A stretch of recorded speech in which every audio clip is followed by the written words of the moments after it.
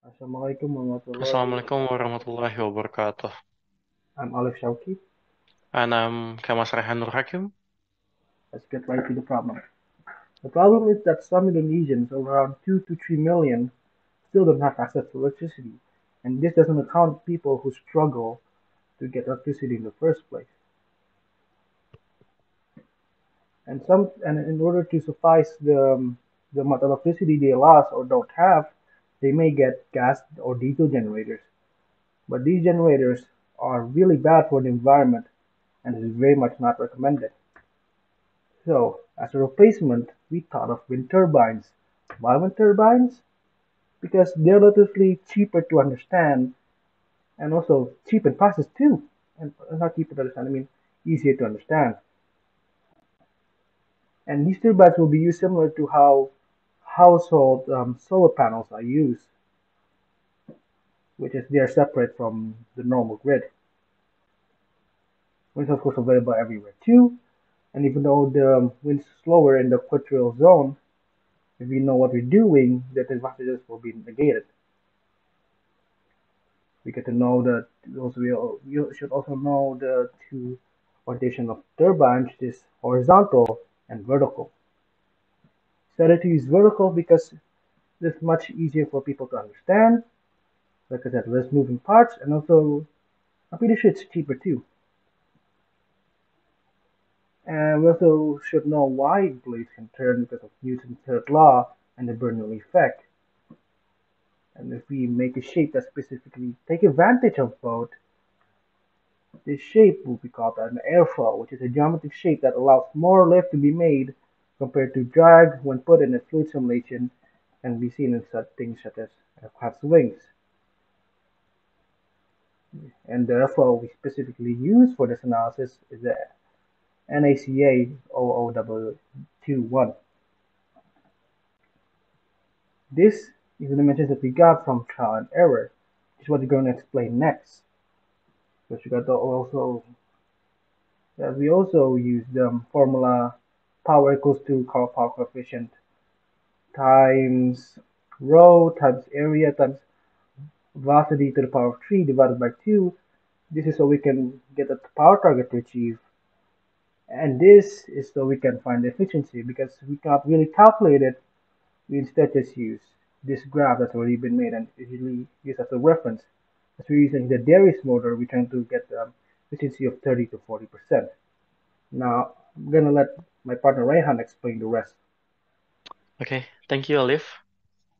The next part is uh, from the QBlade uh, data. Uh, here we see the result from trial and error that me and Alif already working on for the past few days for the research. Our target for the power input is around 150 to 300 watts. Here's the settings about our blade design that we use to create the watt. At first, for the dimension of our blade, for the length is 1.2 meters, with the same amount of the diameters and uh, with the same amount of our diameters, which is also 1.2 meters. And for the chord is 0.12 meters long, with the sweep area around 1.44 meters squared and for detailed information that we use multipolar range or Reynolds number. This came from the formula which is combination within maximum and minimum polar range. The formula is TSR or tip speed ratio maximum times velocity maximum and vice versa. The next part is the DMS. Define simulation. Pause leave. Oh,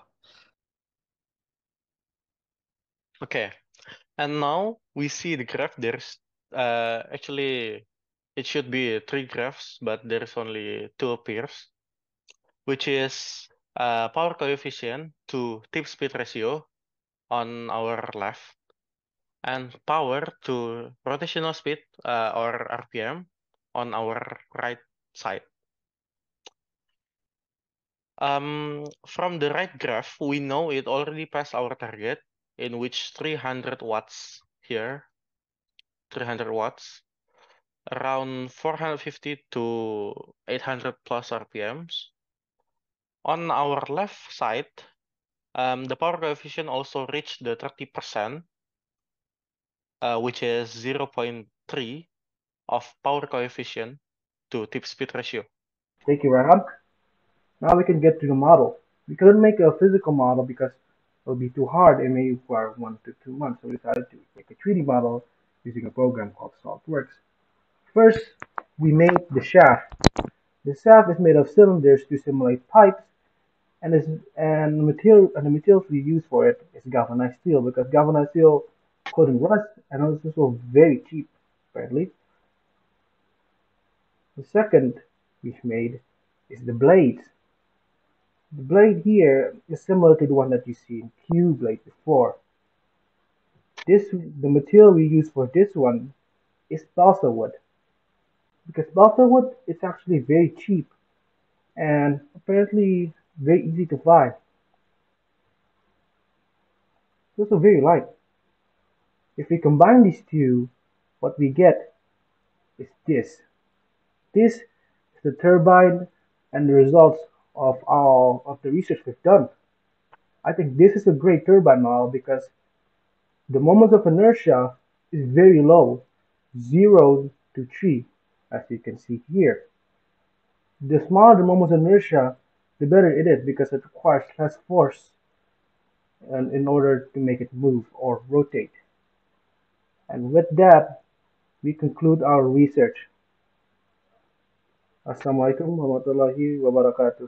Assalamualaikum warahmatullahi wabarakatuh.